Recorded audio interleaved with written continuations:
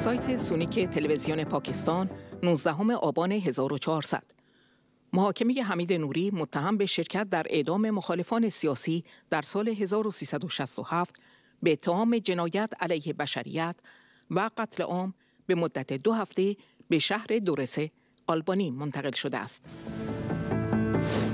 سایت مصرانا الیوم 18 آبان 1400 تمامی دادگاه منطقه استکهلم به درخواست دادستان و به منظور استماع شهادت هفت شاهد کلیدی از تاریخ دهم تا 18 نوامبر به شهر دورس در آلبانی منتقل شد. این هفت شاهد اعضای سازمان مجاهدین خلق ایران هستند که در کمپی در نزدیکی دورس در آلبانی مستقر هستند.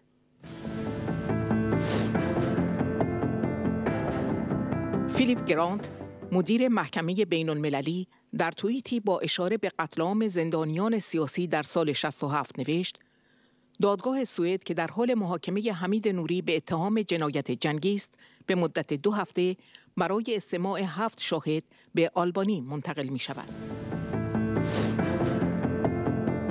سایت اسوتی نیوز آلبانی دادگاه حمید نوری در ده اوت شروع شد و همچنان ادامه دارد.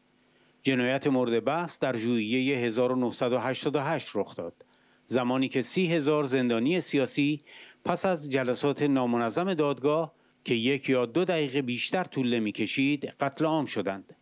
همه قربانیان مخفیانه در گروه های جمعی دفن شدند. بیش از 90 درصد از قربانیان مبارزان سازمان مجاهدین خلق ایران بودند.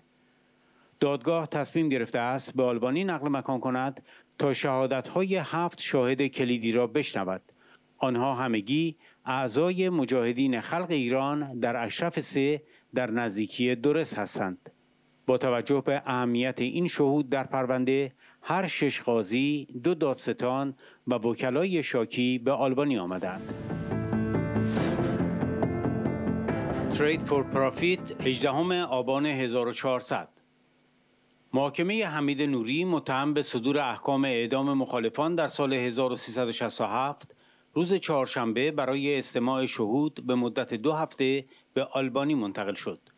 حمید نوری از ماه اوت در دادگاه منطقه استکهلم به اتهامات متعددی از جمله قتل، جنایت علیه بشریت و جنایات جنگی در مقطع زمانی سی ژوئیه تا 16 اوت 1988 در زندان گوهردشت کرج تحت محاکمه قرار دارد.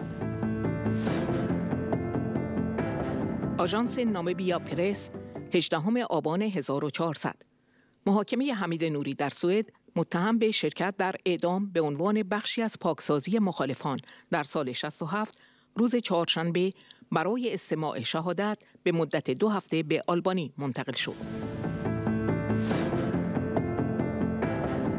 صوت بیروت اینترنشنال 19 آبان 1400 یک دادگاه سوئدی که نوری را محاکمه می کند هفت از اعضای سازمان مجاهدین خلق ایران را که در کمپ اشرف سه در شهر مانز آلبانی حضور دارند را به عنوان شاهدان اصلی قتل عام استماع می کند.